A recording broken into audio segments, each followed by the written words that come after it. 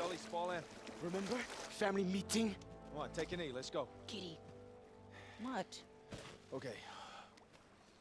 I need you kids on your best behavior. I mean it. Learn fast. Pull your weight. Don't cause trouble. You got it? Yes, sir. I want to go home.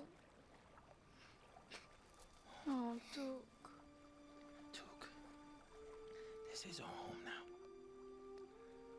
No. No, we're gonna get through this. We're gonna get through this if we have each other's backs. Right? What does your father always say? Sullys stick together. Stick together.